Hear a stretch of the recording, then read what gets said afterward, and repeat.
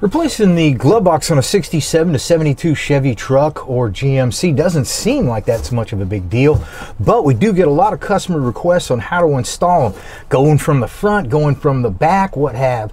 So today I'm at Brothers Tech Center to show you how to go ahead and replace these glove box.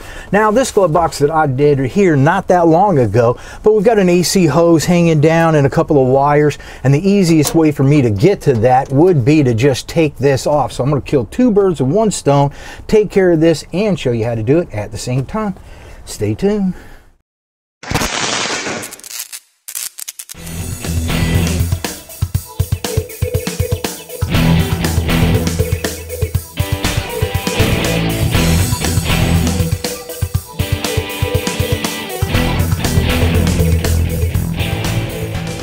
Now the first thing I like to do when I'm doing something like this is just to loosen up all the screws. I want to see if I've got anything that's a problem or not. I don't want to get all my screws out and then find one that's a problem and with everything hanging down and all loosey-goosey trying to fix that at the same time. So I'll look for any problems, fix those first, and then I'll go ahead and keep going. Now these two right here, these are the most common to get messed up because they get uh, moisture trapped inside the glove box door and rust up. Everything's looking really good. I want to note though that these two screws right here, don't mess with these two screws because your glove box is more than likely already to set to shut in the right spot. If it's not, I'll show you how to mess with this later, but we're not going to do these two screws for just yet. Now the um, screws that hold the glove box in on the bottom are also holding in the hinge for your glove box. So I'm going to take these four out on the bottom first. These screws are relatively small and they're relatively specific. They've got a pretty large head on it there with a washer. So we want to make sure we don't lose these.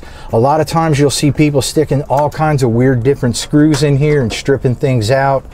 So um, either find the right one or don't lose the one you got. Now note that the ones for the this right here, and this is the stop for the glove box.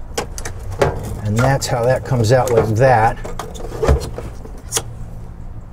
And this, it's got a little rubber stop on the end right here too that you're going to want to get at the same time. But these screws right here, they're going to be different from the rest of the screws. So take a look at that there. These are going to be the most numerous screws that you have holding the glove box along the perimeter and on the hinge, but these two were specific just for your glove box stop, so don't get them confused. With the other um, screws out, then I'll go ahead and do the ones on the side, and then we'll do the ones on the top last. These are held in with little slip nuts that I'll show you here in a bit and some um, nuts that are kind of um, stamped into the side of the glove box. Let me get this out and I'll show you what it looks like.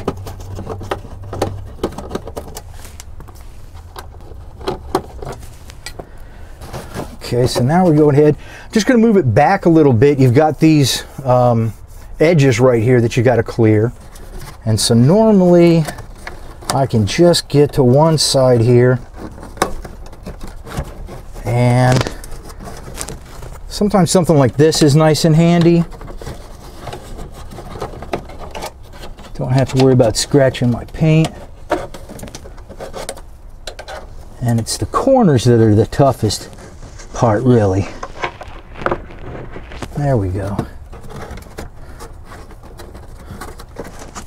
Okay. Got to make sure that all your edges are past the cab.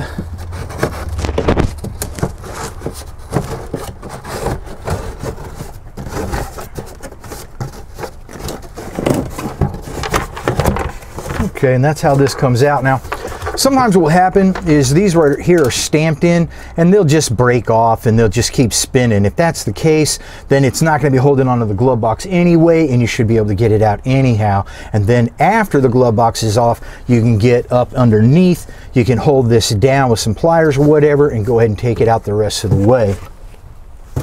On the bottom right here, you have slip nuts It's called because they just slip right on.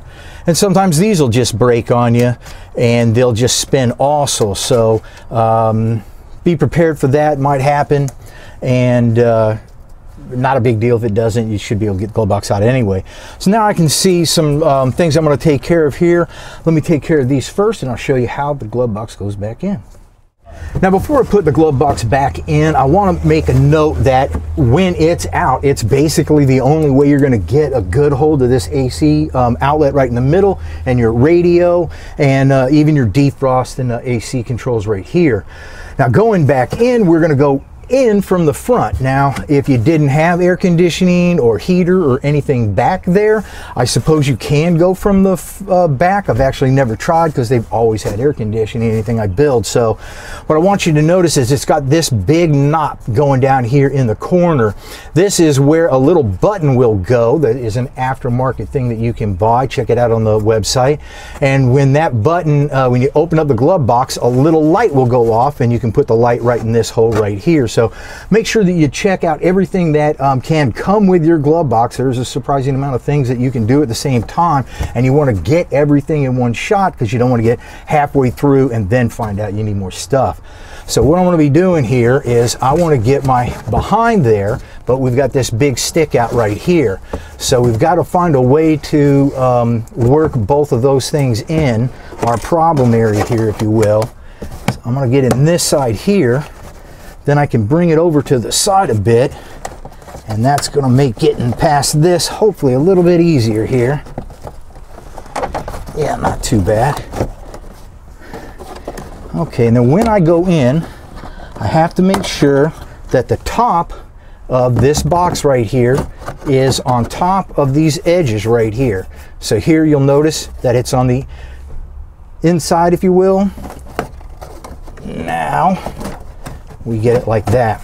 So this has to be behind, the glove box has to be behind this, glove has to be behind that, but right here, we um, don't. This goes right on top of the metal so that we can get our hinge on.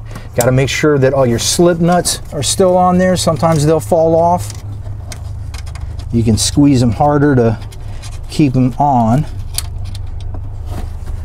And then I'm just going to try lining up some screws. Sometimes things will be a little bit off and you'll have to um, maybe get a, an awl or something to help poke in and get them in the right position.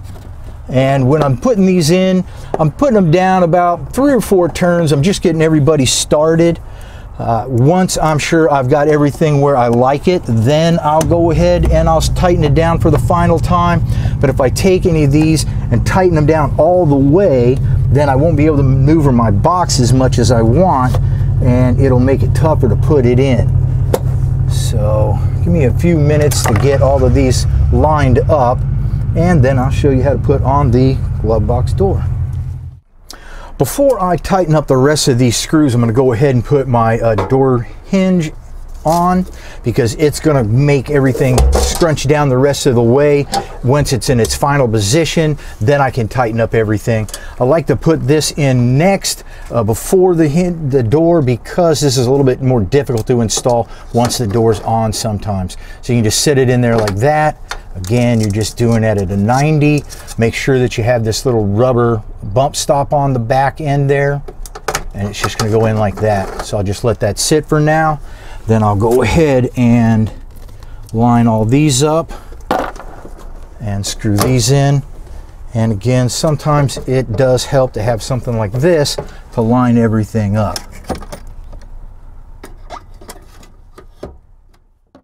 So I've got my uh, screws snugged up on my hinge down here, but they're not totally set. I've got my screws on my catch, and I'm gonna go ahead and shut my glove box door and make sure that it looks like it's lined up and everything. You can still line up the glove box in or out or left or right when these are loose.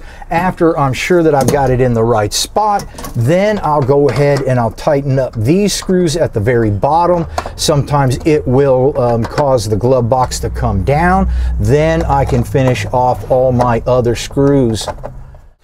So go out there and replace your glove boxes. My name is David Welch. I am at Brothers Tech Center every single week, making sure your truck gets back on the road and looks good too.